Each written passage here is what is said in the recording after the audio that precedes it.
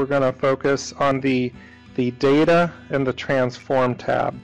So these are really basic um, operations, but frankly, there's very few courses that actually teach you how to do these things.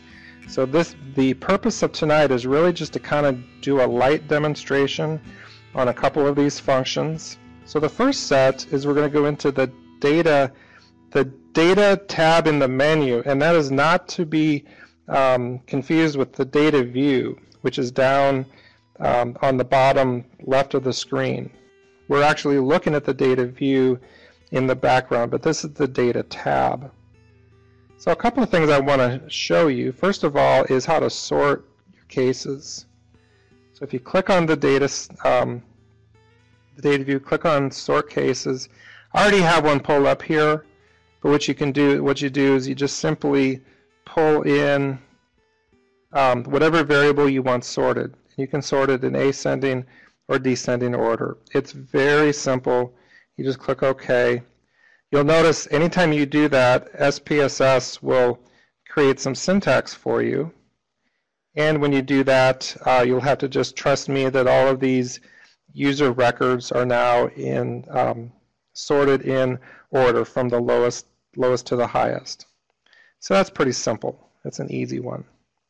Let's try another function on the data tab. What if you needed to split the file? So what if you want to split it um, by using a categorical variable into different groups and analyze each of them separately? So um, what you do to split a file, um, you click on split, and the default will be analyze all cases. Uh, if you want to split, you go to the compare groups, I have a field, a variable already loaded in here, region of the country. I click on that, again, I get my syntax. Now let's see if that worked.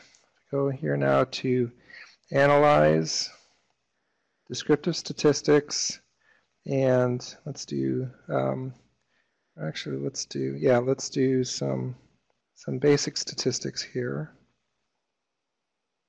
Not going to play a frequency table. We are going to put in some some stats. Click continue and click OK. And now, if you notice in my output, all of the stats were were run for each of those categories that I split the data by. Okay, so if you needed for, you know, in this case it's it's region, you want to do it by gender. It really needs to be by a categorical variable, not a continuous variable, because you would just have a mess on your hands trying to split a continuous variable. But for categorical variables, sometimes that's what that's exactly what you want to be doing. Now, something people tend to forget is if you need to un, go back to the unsplit data, you actually have to reverse your steps. So you go back to the split file, see how I have the compare groups. I want to click Analyze All Cases, click OK, and now if I run that test again, now when I run this, I have the whole group, not split by region of the country. Try one more in the Data tab. What if you wanted to select cases? So in other data sets, this might be called like a filter. Okay, so you want to you want to filter in or filter out cases. So again, the default would be to select all cases. If you want to, if condition is satisfied, so let's say we're going to add, and can, this can be with a, a continuous or a categorical variable. I have a continuous, I have a baseline um, systolic here and I'm going to select if it's greater than or equal to, and I'm going to put a number in, 140. And we're going to click OK. Go back to my data. And now look, probably very tiny, very illegible to read, but you'll notice on the, the numbers on the very leftmost column that start with 1 and they go all the way down all the way to the end of the data set. The records that did not meet that condition are selected out. So I ask for records greater than a systolic blood pressure of greater than 140.